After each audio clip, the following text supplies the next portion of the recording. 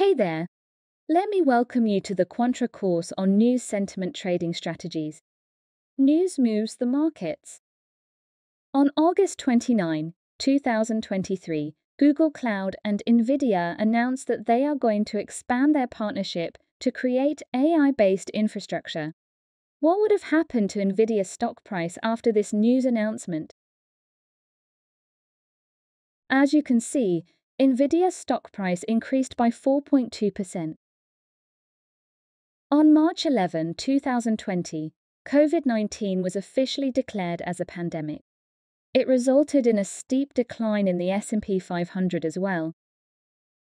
As humans, we tend to form an opinion about any news we hear or see and act accordingly. If there is a company which is progressing in its field, like Nvidia, you will have a positive sentiment towards the company's future. And in turn, you will buy the stock in anticipation of its future capital increase. Let's say you hear that a known company is launching an electric car which is the same price as a gasoline powered one. They claim that your expenses will also be reduced by 90%. What sentiment will you form? Of course, you will have a positive sentiment as electric cars are costlier than traditional gasoline powered cars.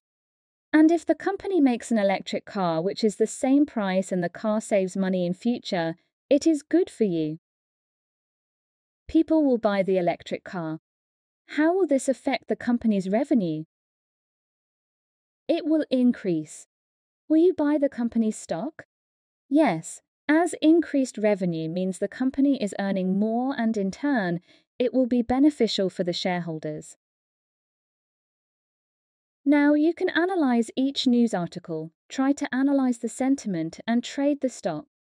But as humans, you will be able to keep track of a limited number of stocks and related news articles.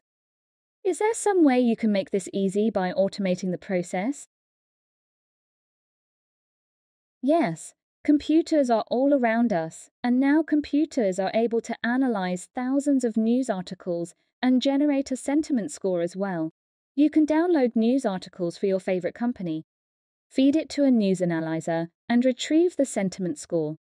This sentiment score will tell you whether there is a positive, negative, or even neutral sentiment towards the company.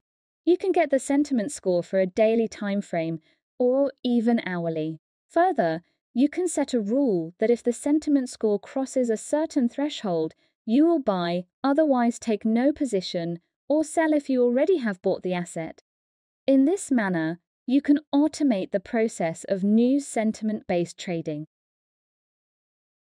In this course, you will start with a basic strategy.